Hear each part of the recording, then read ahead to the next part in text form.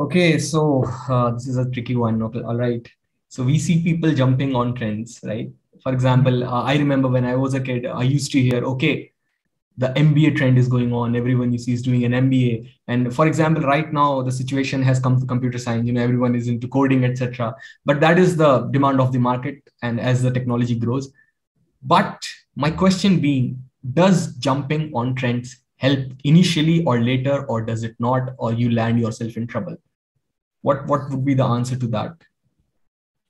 I think uh, going back to what I said, that one needs to know that whatever you do in life will have consequences. So you have to be very intentional about what whatever decision, whatever choices you are making in life. So all the choices that you have taken in your life till now have le- let you to be in the position that you are in right now, and that holds true for me now as well. So whatever decision you take from now on will decide wherever you are. Uh, you know, ten years from now. So do you want that person that you're going to be 10 years from now to be decided by what your neighbor was doing or the guy sitting next to you was doing right so right.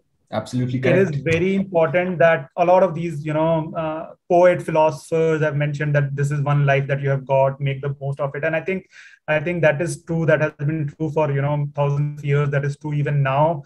It is good to look at what is happening all around you. You cannot be living into a you know uh, in a, in a in a cupboard or in a room. You have to go out see what the world is doing.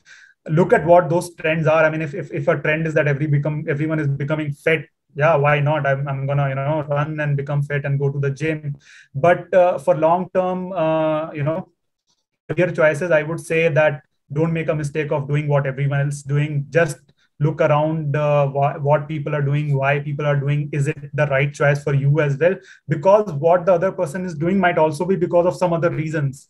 Definitely. maybe he has a bigger elder brother in his house uh, who keeps pestering him to take up you know coding or take up mba and you don't know about that journey so uh, you don't want to be in a situation 10 years from now that you ended up doing uh, mba but you thought that you would have been better if you had done ms right. so there are trends all the time. Trends keep changing. Look at the trend. If if if they're helpful for you uh, take them up. But otherwise do what you feel is you. Like everything has to be very intentional. The decisions that you are taking now will will influence wh- who you are going to be 10 years from now. So just imagine if i had ended up doing ms it would have been a completely completely, completely different story. Yeah. Yeah yeah. Not better or worse uh, but a completely different story. So you don't want to go on a different journey just because someone else was doing something. Right. Great